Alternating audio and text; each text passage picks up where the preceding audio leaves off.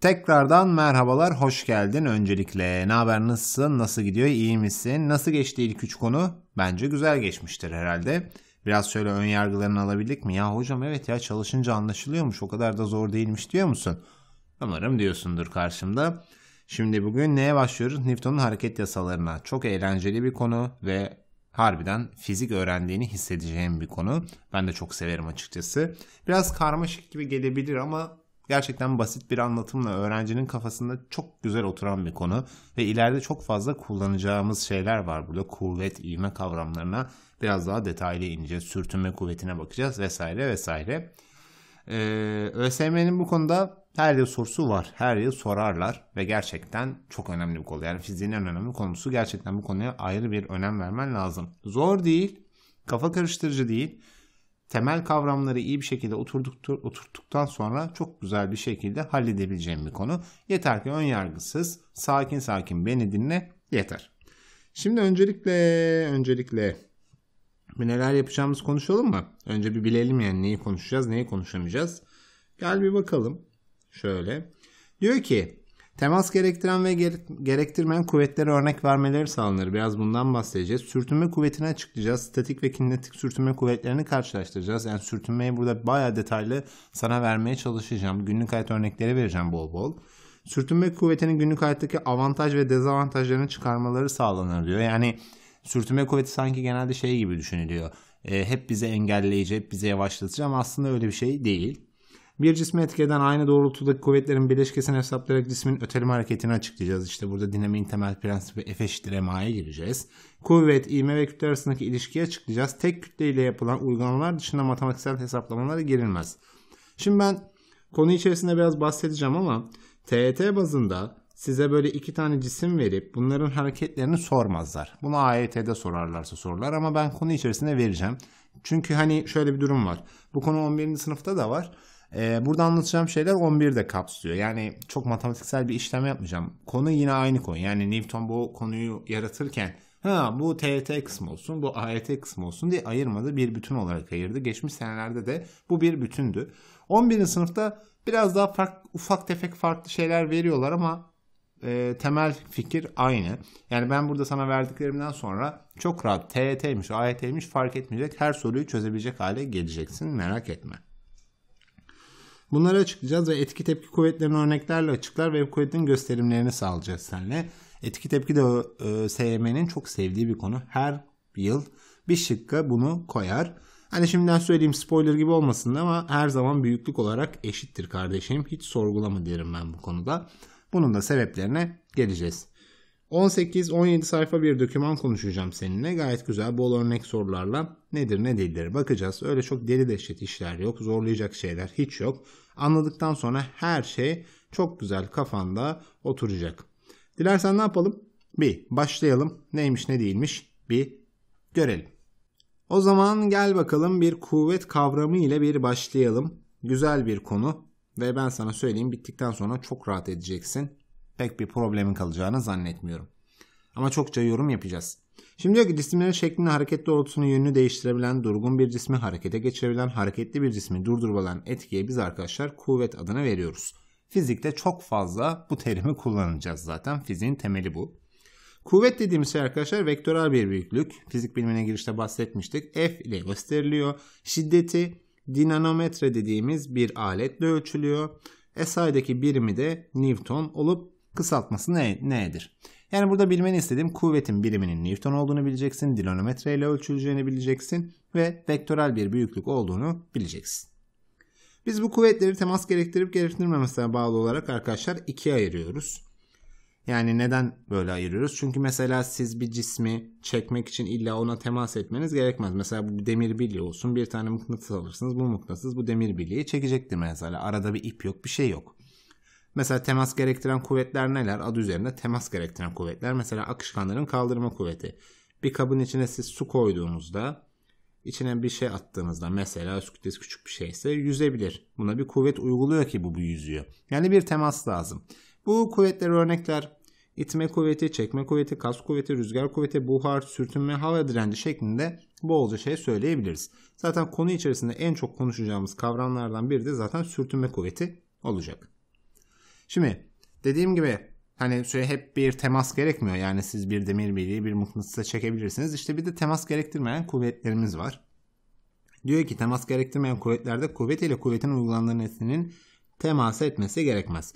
Bu kuvvetlere verilebilecek örnekler manyetik kuvvet, elektriksel kuvvet, kütle çekim kuvveti ve atom çekirdeğini atom çekirdeğindeki nükleer kuvvetler oluyor. Şimdilik bunlar sana çok yabancı gelebilir. İlerleyen zamanda AYT tamamlı işlerde çok fazla göreceğiz zaten. Bunlara çok fazla değineceğiz çeşitli yerlerde. Şu an genel kültür tadında sadece biraz bilmen gereken bazı özellikleri var. Bu biz temas gerektirmeyen kuvvetleri doğada var olan doğal kuvvet kaynakları oluyor arkadaşlar. Bu kuvvetler kendi içinde dört gruba ayrılıyor. Güçlü nükleer kuvvet, zayıf nükleer kuvvet, elektromanyetik kuvvet, kütle çekim kuvveti.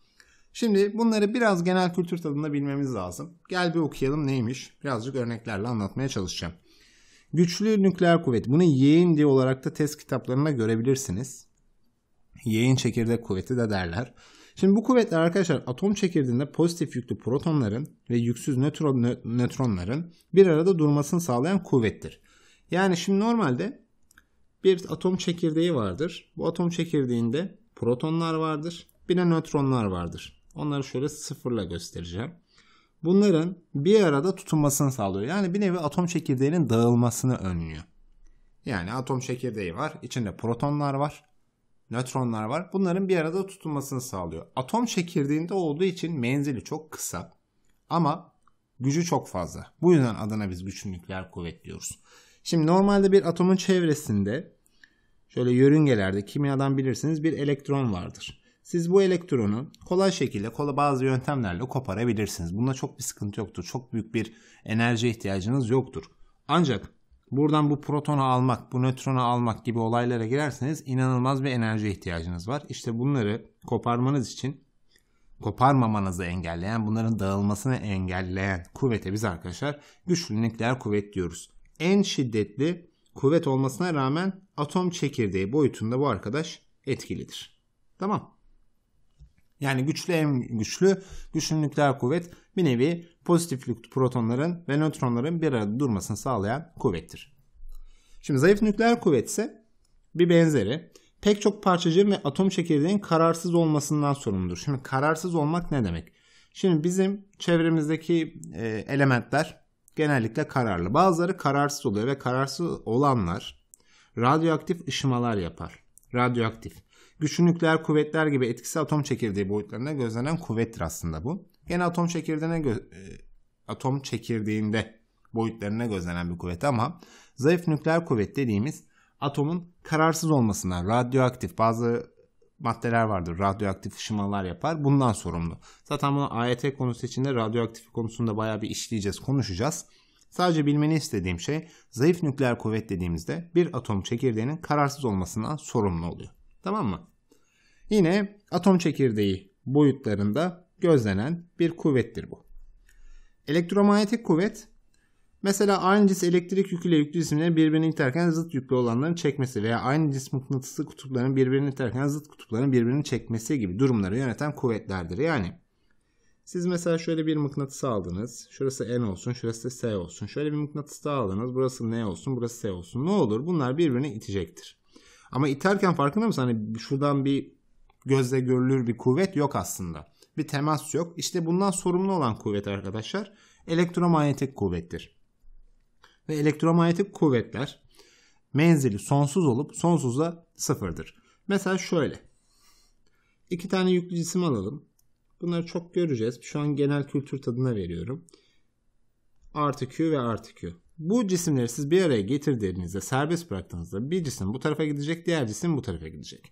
Biz bunlar arasındaki kuvvetin büyüklüğünü aslında şöyle buluruz. K çarpı Q çarpı Q bölü arada uzaklığa da D diyelim D kare deriz. Şimdi matematiksel olarak zaten D'yi çok çok çok çok çok çok arttırırsan bu olay sıfıra gider. Hani 1 bölü sonsuza sıfır diyorsunuz ya sıfıra gider. O yüzden sonsuzda sıfırdır ve menzili sonsuzdur deriz biz buna.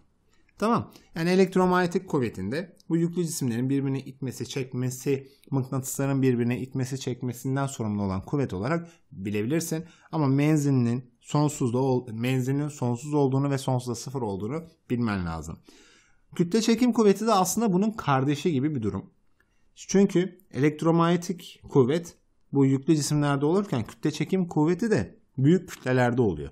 Yani temel kuvvetler arasında en zayıf kuvvet olmasına rağmen evrenin bugünkü şeklinde en etkili olan kuvvet bu.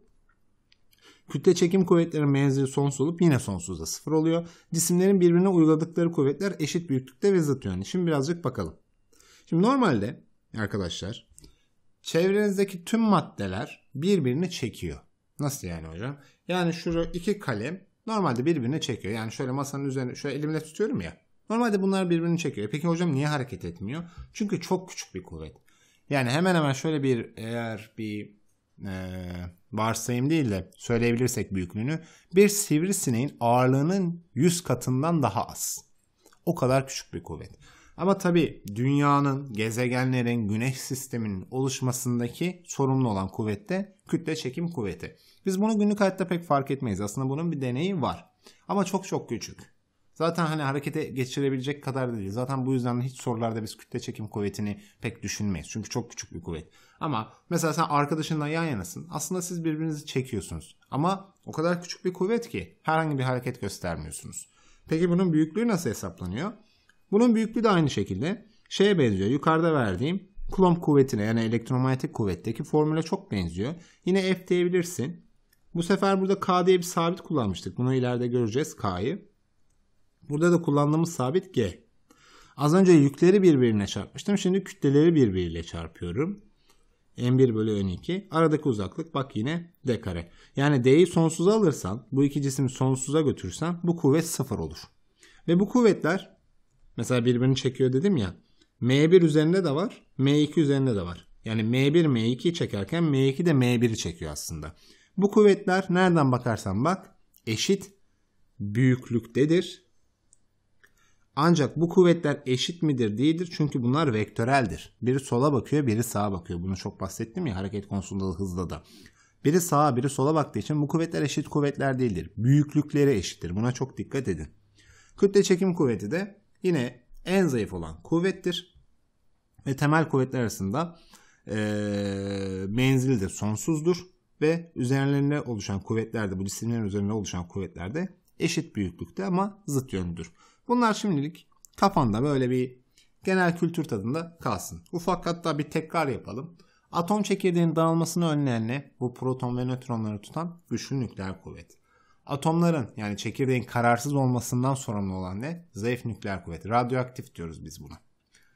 İki mıknatısın birbirini çekmesi, iki yüklü cismin birbirini çekmesi veya itmesindeki sorumlu olan kuvvet ne? Elektromanyetik kuvvet. Menzili ne? Sonsuz. Sonsuzda bu kuvvetin değerine 0. D çok artıyor. 1 bölü sonsuz 0 ya. O yüzden kütle çekim kuvveti normalde her kütle birbirini çeker. Bunu sen günlük hayatta fark etmezsin. Ama güneşin dünyaya çekmesi, dünyanın ayı çekmesi yani çok büyük bir kütleden bahsediyoruz. Dünyamızdan, evrenden bahsediyoruz. Bunlardan sorumlu olan kuvvettir. Yani evrenin bugünkü şeklini almasından sorumlu olan kuvvettir. Ama e, aralarındaki en küçük en zayıf kuvvette kütle çekim kuvveti oluyor. Tamam.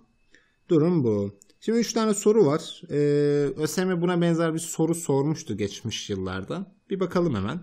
Diyor ki bunları büyükten küçüğe doğru sıralanırsa doğru sıralama nasıl olur diyor. Önce güçlü geliyor arkadaşlar. Aralarındaki zaten adı üzerinde güçlü güçlüdür. Bir en büyük.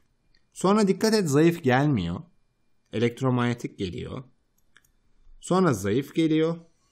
Zaten en küçük olan da kütle çekim kuvvetiydi. Sonra da kütle çekim geliyor. Tamam mı? Şimdi hani güçlü nükleer kuvvet dediğinde ne hatırlayacaksın ya da zayıf nükleer kuvvet dediğinde ne hatırlayacaksın? Bunları bilmen biraz önem taşıyor ileriki konularda çünkü işimize yarayacak. En güçlü olan güçlü nükleer kuvvet adı üzerinde. Sonra zayıf değil dikkat et elektromanyetik. Sonra zayıf en zayıf olan da kütle çekim kuvveti. Şurada dedik ya bak. Şurada. En zayıf kuvvet. Tamam. Hangisi diyor temas gerektirmez diyor bu kuvvetlerden. Güneş sistemini biraz tutan kuvvet ne? Kütle çekim kuvvetidir. Kütle çekim kuvvettir. Herhangi bir temas yoktur. Yani iki tane cismi aslında şöyle tutsanız ikisi de birbirini çekiyor. Eşit büyüklükte zıt yönlü kuvvetler. O kuvvetler eşit mi? Değil. Büyüklükleri eşittir, zıt yönlüdür. Atom çekirdeğini bak atom çekirdeğini bir arada tutan güçlü nükleer kuvvet. Radyoaktif bozulmaya sebep olan yani kararsız olmasından sorumlu olan kuvvet zayıf nükleer kuvvet. Suda cisimlerin batmasını önleyen kaldırma kuvveti burada temas gerektiren bir kuvvettir aslında. Yani bir cismi suya attığınızda suyla teması var sonuçta. Ama şu ilk üçü kütle çekim güçlü nükleer ve zayıf nükleer herhangi bir temas gerektirmiyor. Tamam. Şimdi gel bir de 3'e bakalım. Hangilerinin menzili sonsuzdur demişti. Kütle çekim kuvvetini hatırlarsan G diye bir sabitle bu kütlelerin çarpımı arasındaki uzaklıktı. D kareydi. Mesela F1 diyebiliriz veya F diyebiliriz. D'yi sen sonsuza alırsan bu kuvvet sıfırlanıyordu. O yüzden menzilini sonsuz diyebilirsin. Zayıf nükleer kuvvetse atom çekirdeği boyutunda. Yani 10 üzeri eksi 15 mi 20 mi inanın hatırlamıyorum şu an. Çok çok küçük bir sayı çünkü bu. Zayıf nükleer kuvvette atom çekirdeği boyutunda etkili olan bir şeydir. Menzili sonsuz değildir. Elektromanyetikte iki yüklü cisim. Bu sefer G yerine K yazarsın. K çarpı Q1 çarpı Q2 bile D kare. Yine D'den dolayı bunun menzili sonsuz olacak. Yani yanıtımız 1 ve 3 diyebiliriz. Tamam. Ben burayı anladığını düşünüyorum. Kafanda dursun yani. Birazcık temel şeyleri bilmen yeterli. Hangi kuvvet neyden sorumluydu? Ha gezegenlerden sorumlu olan kütle çekimde bunların birbirini çekmesinden. İki mıknatısın birbirini çekip itmesi. Ha şeydi elektromanyetikti. Atomun dağılmasını önleyen parçalanmasını engelleyen, o proton ve nötronları bir arada tutan, atom çekirdeğini bir arada tutan kuvvet ha güçlü nükleerde en güçlüsü oydu. Sonra zayıf değildi, elektromanyetikti. Bunları bilsen gayet şu an benim için yeterli. Bundan daha öte bir şey şu anlık sana sorulmaz. Zaten de verilmez. Tamam. Durum bu. Gel şimdi biz diğer tarafta seninle bir bileşke kuvvet kavramına bir girelim. Ve neymiş ne değilmiş bir orada konuşmaya başlayalım. Şimdi geldik bileşke kuvvet kavramına. Şimdi ben sana şimdiden söyleyeyim. Ee, burada birçok şey konuşacağım seninle. Sonra tekrar konuşacağım. Sonra tekrar konuşacağım. Yani en başta bazı şeyler tam oturmamış olabilir ama ben oturacağını zannediyorum. Sonra bir daha tekrarlayacağım. Sonra bir daha tekrarlayacağım. Yani 3-4 kez tekrar edeceğim için akıllında eğer soru işaretleri varsa bekle zaten ben anlatacağım. Ben senin neye takılıp neye takılmayacağını inan çok iyi biliyorum. Çünkü bütün öğrenciler hep aynı şeylere takılmıştır. Tamam mı? O yüzden beni sadece dikkatle dinlemen yeterli. Şimdi şöyle bir gelelim. Şimdi diyor ki Uygulanan bütün kuvvetlerin etkisini tek başına gösterilen kuvvet arkadaşlar biz bileşke kuvveti yani net kuvvet adını veriyoruz. Bu net kuvveti o kadar fazla söyleyeceğim ki sorularda yani resmen kusacaksın yani. Çok önemli bir kavram. Bizim işimiz hep net kuvvetli olacak çünkü. Şimdiden kulağına küpe olsun. Başka bir ifadeyle bileşke kuvvet cisme etki eden kuvvetlerin vektörel bir toplamıdır. Bileşkeyi biz R ile gösteriyoruz. Şimdi burada bir cisim var. Üzerine bir 11 Newton etkilenmiş. Mesela bir sen 11 Newton'la bunu çekiyorsun. Diğer taraftan da 4 Newton ve 2 Newton'la çekiyorlar. Tamam. Hangisi galip gelir? E, matematik var, fizik var. Sağ tarafa doğru bir galibiyetimiz var. Tamam. Peki sana bir soru. Ne kadardır bunun büyüklüğü? E, vektörel bir toplam yapacağız. Sol taraf 6 ise sol taraf, sağ taraf 11 ise sağa doğru 5 Newton'luk bir kuvvet var. İşte bu 5 Newton'luk kuvvete biz bileşke kuvvet diyoruz. Hareket doğrultusunda. Tam bu cismin bir ağırlığı var, G var, işte şöyle bir N var. Tamam biz bunları almayız. Niye? Çünkü hareket doğrultusunda değildir. Yani bir cismin ağırlığı gidip bu cismi hareket ettirmez bu tarafa doğru. Ha ne yapar? Bir cismi sen bırakırsan düşer. Ha onun düşmesini sağlayan şey buradaki ağırlığıdır. Ağırlık da bir kuvvettir. Ama biz bu tür sorularda yatay düzlemde böyle sağa sola giden arkadaşlar için G'ye N'ye falan bakmayız. Tamam mı? Güzel. Burada bileşke 5 Newton. Bu arkadaş sağa doğru gidecek. Şimdi sana ufak bazı birkaç soru soracağım. Şurada aklında bazen yer etsin diye birkaç şey soracağım. Şimdi bir tane yatay düzlemimiz var. Güzel. Sürtünme falan hiçbir şey yok. Sana bir soru. Bir tane kutu var. Bu kutuya şöyle bir kuvvet uyguladın ve bu kuvveti kaldırdın. Şimdi kuvveti uyguladın. Bu arkadaş bir hareket etmeye başladı. Güzel. Şimdi mesela sürtünme bir şey yok. Buz gibi bir buz gibi bir yüzey düşün. Sürtünme falan yok. İktirdin. Şöyle bir kuvvet uygulan iktirdin. O cisim ne olur? Gider gider gider hızlanır mı? Gider gider gider durur mu? Yoksa sonsuza gider, sonsuza kadar gider mi? Cevap sonsuza kadar gider. Çünkü onu durduran bir şey yok. Yani bu cisim böyle gidiyor. Atıyorum 10 metre böyle saniye hızlı diyorum. Bunu durduran hiçbir şey yok ki. Ne sürtünme var ne hava var hiçbir şey. Günlük hayatta tabi bunu gözleyemezsiniz kolay kolay olmaz da. Sürtünmesiz ortam dediğinde Siz buna bir kuvvet uyguladınız ve kuvveti kaldırdınız hemen. Tekme attın şöyle düzgün bir şekilde vurdun. Ne olur? Sonsuza kadar gider arkadaşlar. Hızında hiçbir değişim olmaz. Yani uzayda diğer gezegenlerin etkisini ihmal etsek, uzayda seni iktirsek sonsuza kadar gidersin ha. Herhangi böyle bir elini kolunu oynatmasan, bir şey yapmasan sonsuza kadar aynı hız büyüklüğüyle gidersin. Tamam mı? İkinci soru. Yine aynı. Yine sürtünmesiz bir ortam. Sen mesela burada işte F kuvvetini sürekli uyguluyorsun. Ne olur? Sürekli hızlanır mısın yoksa işte hocam sabit bir hız mı olur? Sen sürekli bir kuvvet uyguluyorsan bu arkadaşı sürekli hızlandırırsın. Sürekli hızlanır. Önce hızı 5 olur, sonra 10 olur, 15 olur, 20 olur, 25 olur. Birazdan işte bu dinamiğin temel prensibine gireceğiz. Ama öğrenciler genelde şunu karıştırıyor işte. Kuvveti kaldırdık, sürtünme yok ne olur? Sonsuza kadar gider. Peki sonsuza kadar giderken mesela şuradan küçük bir kuvvet uyguladın. Şöyle hareket doğrultusuna ters yönde küçük bir kuvvet uyguladın diyelim. Küçük fazla büyük değil. Hani zank diye durmaz. Yavaş yavaş duracak. 10 olacak sonra 8, 6, 4, 2, 0 diye duracak. Bazı arkadaşlar şey diyor hani hocam işte böyle gidiyor hemen kuvveti uyguladım durdu. Hayır hemen durmayacak. Tamam bir şeyleri yavaş yavaş bir anlamaya çalışalım. Özellikle bu sürtünmesiz ortamda bir kuvvet uygulayıp kuvveti bıraktıktan sonra bu cismin hareketi ne olur dediğimizde sonsuza kadar gider. Onu durduracak bir şey yok ki. Ne sürtünme var ne hava sürtünmesi var ne bir şey. Yani tamam ağırlığı var Gn de bunlar zaten hareket doğrultusunda olan bir şey değil. Bunlara bakmayız biz. Tamam. Çok kafan karışmasın. Şimdi peki dedik işte 5 Newton ne olur bu cisim? Bu cisim bir net kuvvetin var. Yani 5 Newton'luk bir net kuvvet etkisindesin. Net kuvvetin varsa sürekli hızlanır. Sürtünme falan yok. Sürekli hızlanır. Atıyorum. İşte en başta hızı sıfırdı. 5 oldu, 10 oldu, 15, 20, 25, 30, 35, 40 diye böyle fizene kadar gider bu arkadaş. Tamam. Şimdi eğer sen buradan şimdi en önemli soruya geliyorum bak. Şöyle gidiyor bu arkadaş. 5 Newton uyguladık ya bileşke kuvvet. Atıyoruz hızımız 60 metre bölü saniye olduğu anda. Ben buradan bir 5 Newton uygularsam ne olur? Yavaşlar mı? Hızlanır mı? Ne olur? Ne olur biliyor musun? Net kuvvet ne oldu? Şunla şu birbirine götürdü ya. Sıfır oldu. Tamam. Az önce dediğim gibi. Hızı neydi bu anda uyguladığım an? 60 metre bölü saniye miydi? Bu arkadaş aynı hızda yoluna devam eder. Çünkü onu hızlandıracak veya yavaşlandıracak bir kuvvet yok. En başta 5 ile güzel güzel çekiyorduk. Hızlanıyorduk, hızlanıyorduk, hızlanıyorduk. Arkadan zank diye biz de 5'e çektik. Onun yaptığı sağa doğru olan 5. Benim yaptığım sola doğru 5 olduğu için kuvvetler sıfırlandı. Net kuvvet sıfır oldu. Net kuvvet sıfırsa bu cisim aynı şekilde yoluna devam eder. Biz o yüzden şunu deriz. Net kuvvet sıfırsa cisim dengededir. Dengede demek arkadaşlar duracağı anlamına gelmez.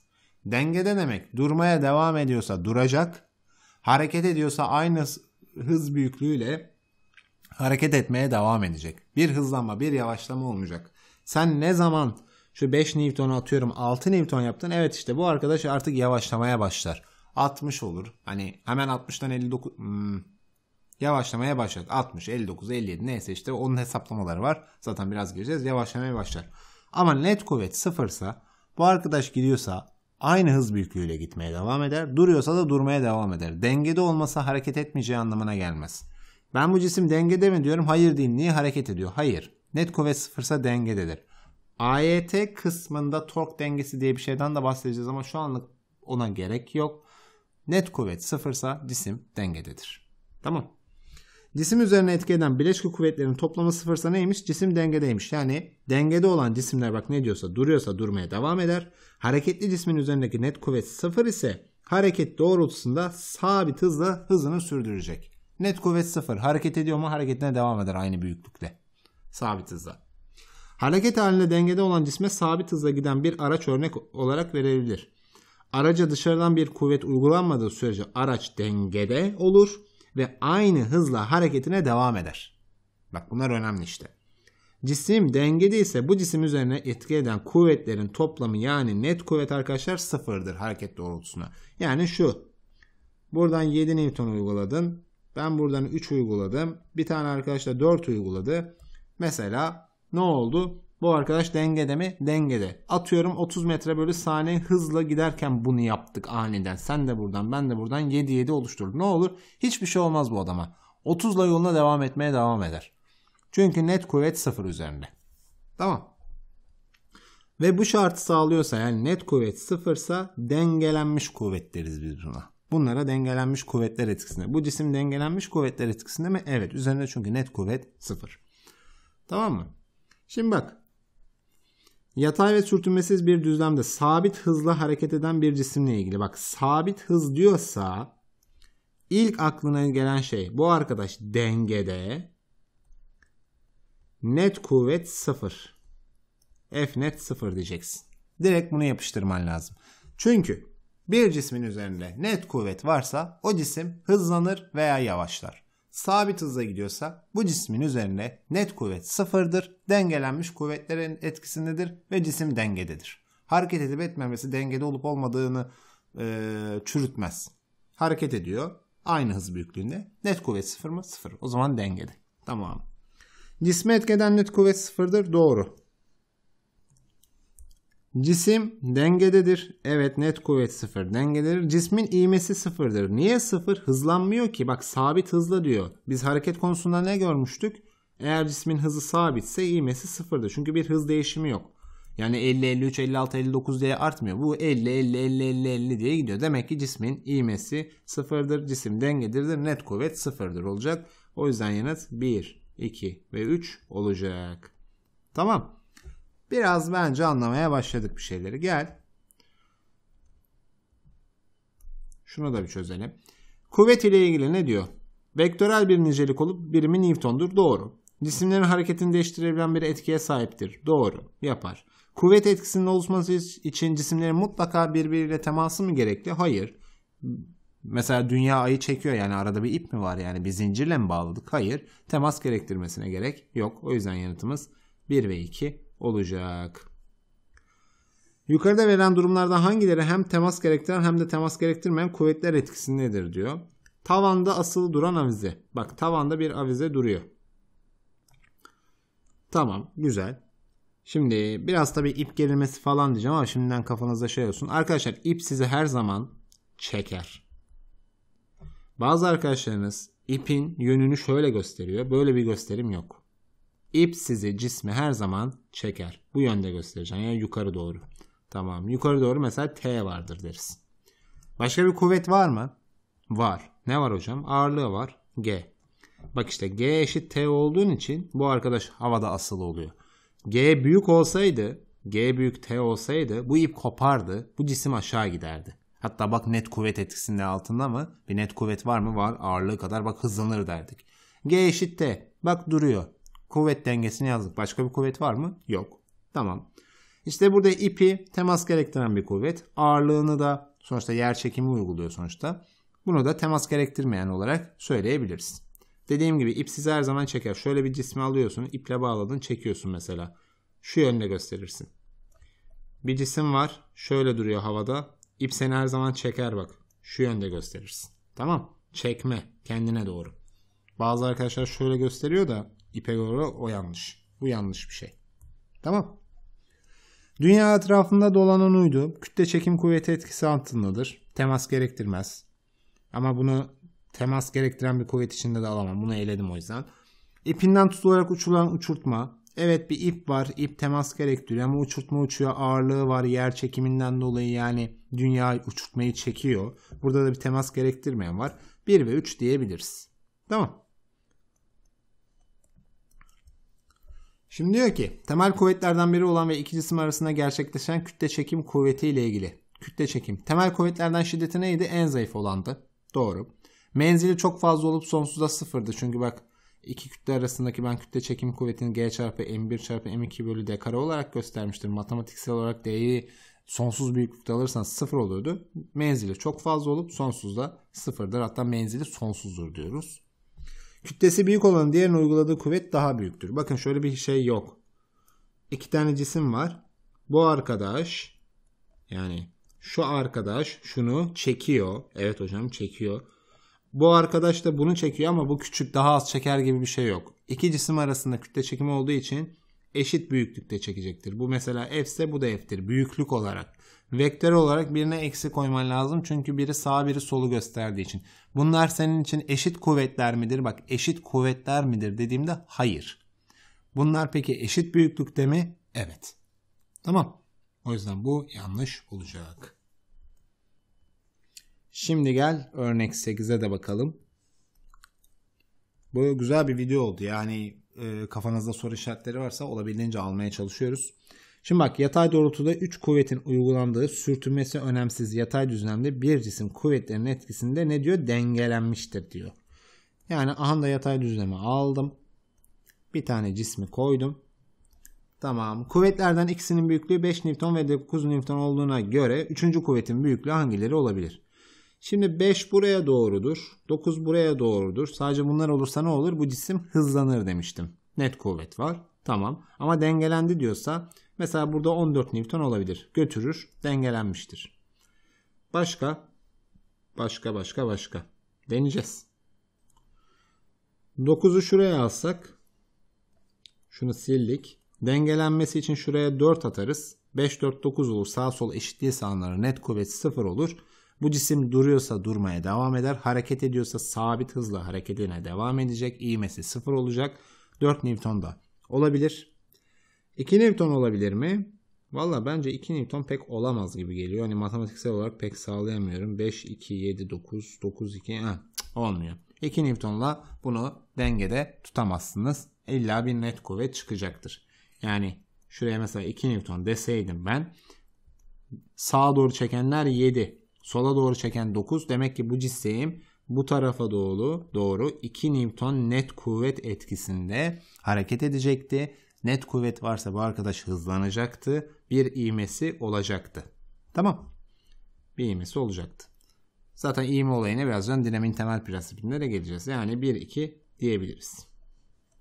Gel bir de hemen şuraya bakalım. Kale araçlarının konum zaman ve hız zaman grafikleri şekildeki gibi buna göre bu araçlar hangileri dengelenmiş kuvvetlerin etkisinde hareket etmektedir diyor.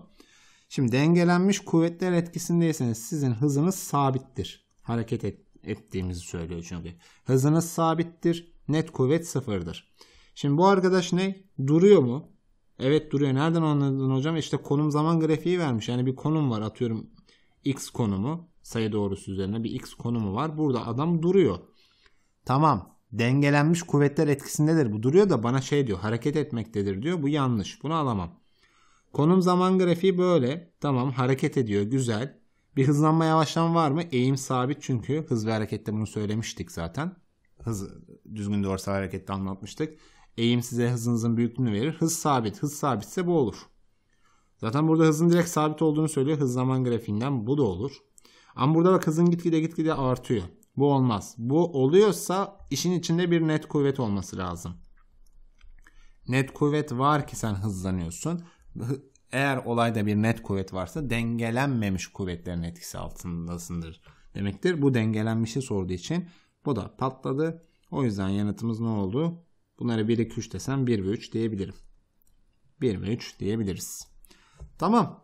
Biraz uzun bir video oldu farkındayım ama burayı çok iyi anlamanı istiyorum çünkü. Birazdan çünkü şurada dinamiğin temel presine geldiğimizde çok iyi anlayacaksın daha olayları. Kafanda soru işaretleri varsa inan bir yerde ben onları gideririm merak etme. Daha çok fazla şey konuşacağız. Sadece bilmeni istediğim şey net kuvvet sıfırsa bu cisim ya duruyordur hareket ediyorsa da sabit hızla hareketine devam edecektir. Sürtünmesiz ortamda bir cisim böyle gidiyor. İttirdin. Sonsuza kadar gider. Sürtünmesiz. Hiçbir şey onu durduramaz ki. Yok ki önünde bir engel yok sonuçta. Sürtünmesi ortamda bir cismi çekiyorsun. Ne olur? Net kuvvet var. Ha, net kuvvet olduğu için birazdan diremin temel sırasını F eşittir MA diyeceğim. Sürekli hızlanacak. Önüne engel çıkana kadar hızlanacak. Sonsuz uzunluktaki bir yol olsa o arkadaş artık 500 bin kilometre hıza kadar ulaşır yani. Öyle diyeyim. Tamam. Bunlar pek günlük hayatta karşılaşamayacağın örnekler. Burası birazcık o yüzden kafaları karıştırabiliyor. Bu şekilde örneklemeye çalıştım. Gel şimdi diğer taraftan şu 10-11. sorularla da biraz da şurada halat olayı var. Onunla ilgili seninle bir konuşmaya başlayalım. Evet çok güzel. Ben sol sütünü anlattım. Sonra kayıt hata verdi ve baştan yine anlatacağız ve ben burayı sileceğim. Çok büyük bir keyifle. Ay, böyle teknik hatalar çok can sıkıcı oluyor biliyor musunuz? Ama yapacak bir şey yok. Neyse. Diyor ki denge şartını bozan kuvvetlere dengelenmemiş kuvvetler denir. Hı hı. Dengelenmemiş kuvvetlerin etkisinde kalan cisim bileşke kuvvet doğrultusunda ivmeli hareket yapar. Yani bir cisminiz var. Siz bu yönde mesela bir bileşke kuvvet varsa atıyorum 10 Newton diyelim buna. 10 Newton varsa bileşke kuvvet varsa bu cisim ne olur? Gitgide gitgide hızlanacaktır. Gitgide gitgide hızlanıyorsa ne var burada? İğmeli bir hareket var dersin.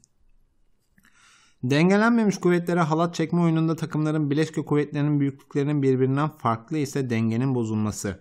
Domino taşlarına bir etki yapıldığında dengenin bozulup diğer domino taşlarının düşmeye başlaması örnekleri verilebilir. Şu örnek hakkında bir soru var test sorularında. Orada çok güzel ayrıntılar konuşacağım. Şimdilik aklında olsun. Şunu söyleyeyim.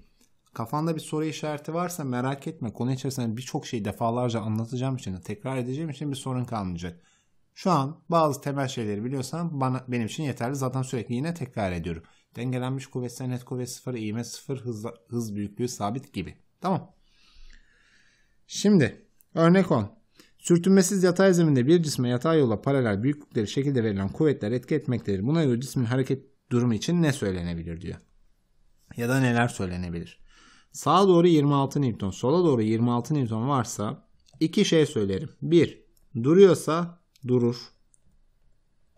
2. Hareket ediyorsa hızının büyüklüğü sabit olacak şekilde bir hız değişimi olmadan hareketine devam eder. Tamam mı? Dengelenmiş kuvvetler etkisinde mi? Evet.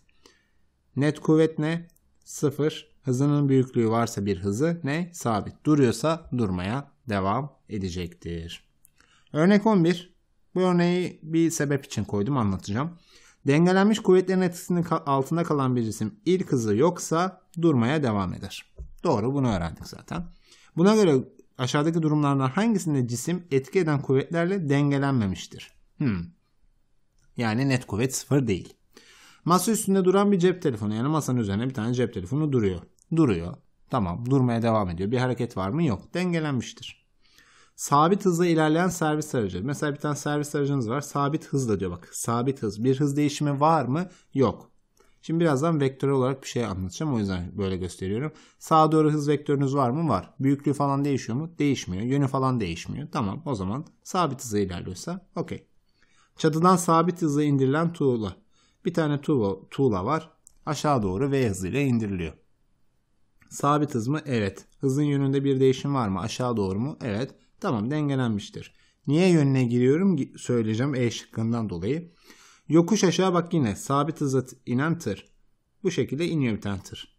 Şöyle V hızıyla V büyüklüğünde bir hızla iniyor. Tamam hızın büyüklüğünde bir değişim var mı? Yok. Yönünde bir değişim var mı? Yokuş aşağı yok. Dengelenmiştir. Sabit büyüklükte hızla çembersel hareket yapan atlı karınca. Hocam işte sabit büyüklük hızla çembersel hareket yapıyormuş. Dengelen, dengelenmiştir bu net kuvvet sıfır dersen işte orada patlıyoruz. Bu biraz AYT tabanlı bir olay ama belki TYT'de de bunu sorabilirler size diye koydum. Normalde çembersel harekette bak hızınız burada V'dir. Burada V'dir. Düzgün çembersel hareket konusudur bu. Budur. Tamam böyle hız vektörlerini çizebilirsin. Yalnız şöyle bir durum var. Hızınızın büyüklüğü değişmiyor ama hız vektörel olduğu için hızın yönü değişiyor bak. Bunlarda bak yön değişmiyordu. Sağa doğruysa sağa, aşağı doğruysa aşağı, eğik düzlemde bu tarafa doğruysa bu tarafa. Burada bir yön değişimi yoktu. Ama hız vektörel olduğu için, hızda bir vektörel değişim olduğu için yani şu vektörle şu vektör belki büyüklükleri eşittir ama aynı vektörler değil demiştim. Burada bir hız değişimi vardır. Vektörel bir değişimdir. Bir vektörel bir değişim bile olsa hızda bu sizin bir net kuvvet etkisinde altında olur. Anladın mı? Hızın aslında yönünü değiştiriyoruz. Biz hep sağa doğru giden, sola doğru giden, aşağı doğru giden, yukarı doğru giden sabit hızlı cisimleri inceledik. Ama bu düzgün çembersel hareket özel bir hareket çeşidi. 12. sınıf AYT'de göreceğiz biz bunu. Hızın yönü değiştiği için hız değişiyor deriz ve tamam hızın büyüklüğü değişmiyor ama hız değişiyor deriz. O yüzden hızın değişimi olduğu için vektörel olarak orada bir net kuvvet vardır ve dengelenmemiştir. Tamam.